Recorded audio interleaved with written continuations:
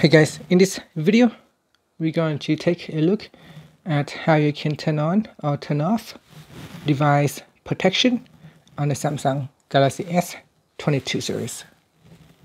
First, let's go back to the home screen by tapping on the home button at the bottom of the screen. And on the home screen, swipe down at the top and tap on the settings icon. In settings, we go down and tap on battery and device care.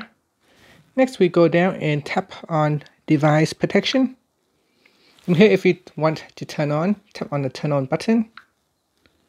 And upon turning on device protection, you can also tap on the scan phone so that the phone will immediately scan for any threat on the device. So here you can see the phone will go through and scan all the apps that has been installed on the phone. It may take some time,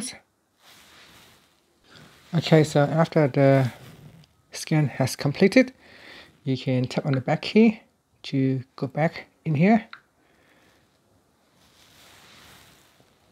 Now to turn this off, you have to uh, do something else. There is no turn off button once you turn it on. So to turn off, let's go back to the home screen by tapping on the home button. And on the home button, swipe down at the top and tap on settings. In settings, you want to go down and tap on apps. In apps, you want to tap on this sort button at the top here. And at the top here, tap on show system apps.